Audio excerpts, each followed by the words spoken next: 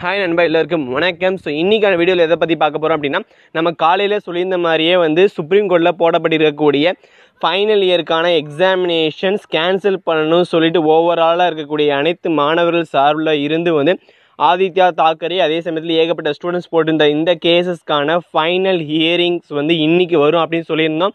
So அதன்படி வந்து இன்றைக்கி அந்த ஃபைனல் டெசிஷன்ஸ் வந்து சுப்ரீம் கோர்ட் சார்பில் இருந்து வந்து வெளியிடப்பட்டு விட்டது ஸோ அந்த டிசிஷன் என்ன ஆச்சு அப்படிங்கிறத நம்ம இப்போ தெளிவாக பார்க்க போகிறோம் ஸோ அதுக்கு முன்னாடி நம்ம சேனல் யாராவது சப்ஸ்கிரைப் பண்ணாமல் இருந்தீங்க அப்படின்னா மறக்காமல் சப்ஸ்கிரைப் பண்ணிக்கோங்க. கூட பெல் ஐக்கன் கிளிக் பண்ணிங்க அப்படின்னா உங்களுக்கான ஆப்ஷன்ஸ் உங்களுக்கு உடனுக்குடன் வரும். ஓகே என்பா உண்மையை சொல்லணும் அப்படின்னா வந்து இந்த கேஸ் ஸ்டார்டிங் ஆன ஆறு ஹியரிங் அட்டன் பண்ணிச்சு. ஸோ அந்த ஆறு ஹியரிங்குமே சரி ஐந்து மாநில அரசுகளும் சரி அதே சமயத்தில் பல்வேறு அமைப்புகளில் இருந்தும் சரி ஃபைனல் இயருக்கான எக்ஸாமினேஷன்ஸை கேன்சல் பண்ணுறதுக்கு பல்வேறு ஆதரவுகள் வந்து தெரிவித்து தான் இருந்தாங்க. பட் இப்போ வெளியாகிருக்கக்கூடிய நியூஸ் என்ன அப்படின்னா வந்து ஃபைனல் இயர்க்கான எக்ஸாமினேஷன்ஸை வந்து கேன்சல் பண்ண முடியாது அப்படின்னு சொல்லிட்டு சுப்ரீம் கோர்ட் சார்பில் இருந்து ஒரு உத்தரவை பிறப்பிச்சிட்டாங்க.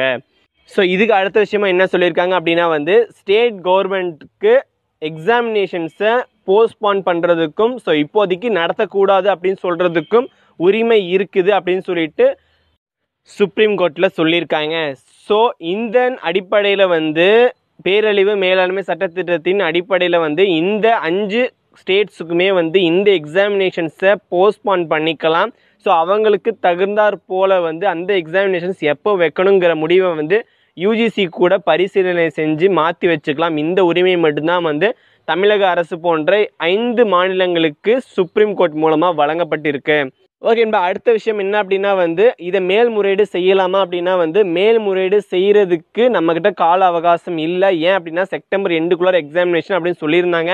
ஸோ மேல்முறையீடு செய்ய முடியுமா அப்படிங்கிற ஒரு ஆப்ஷன் கேட்டிங்க அப்படின்னா மேல்முறையீடு செய்ய முடியும். பட் இப்போ வந்து டைம் டியூரேஷன் இப்படி இருக்கிறதுனால வந்து மேல்முறையீடு செய்கிறதுக்கு பல சிரமங்கள் இருக்குது. ஸோ இந்த எக்ஸாமினேஷன் சம்மந்தப்பட்ட அப்டேட் பார்த்தீங்க அப்படின்னா வந்து சுப்ரீம் கோர்ட்டில் இந்த முடிவை வந்து தெளிவாக சொல்லிட்டாங்க. ஸோ மேலும் தகவல்கள் வந்து அடுத்த வீடியோவில் நான் தெளிவாக சொல்கிறேன் நண்பா. ஸோ இப்போதைக்கு ஃபைனல் இயருக்கான எக்ஸாமினேஷன்ஸ் கேன்சல் இல்லை அப்படிங்கிற நியூஸ் மட்டும் உங்ககிட்ட ஷேர் பண்ணிக்கிறேன் நண்பா.